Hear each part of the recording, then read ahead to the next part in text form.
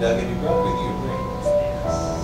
I'd like you to take this ring, the outward symbol of your love for him. And as you place it on her ring finger, when you repeat this promise of love, Erica, with this ring, I marry you.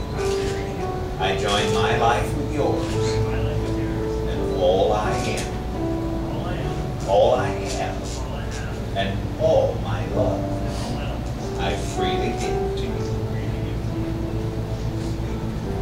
Likewise, Erica, I'd like you to take this ring that you have drawn, the outward symbol of your love for your groom, and as you place it on his ring finger, would you repeat this promise of love?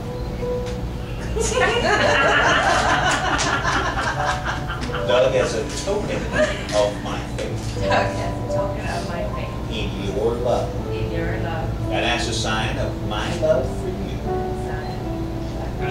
as a sign of my love for you, I give you this ring, I give you this ring. wear it in peace and love,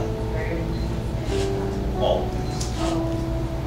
But we want each of you to remember that as you wear these rings, that they are the outward visible symbols, telling the rest of the world all about this love that you already hold in your hearts for each other, and about this commitment you make to one another here today. So wear these rings with pride and wear these rings with honor for all the today, the two of you are making an agreement together to become husband and wife.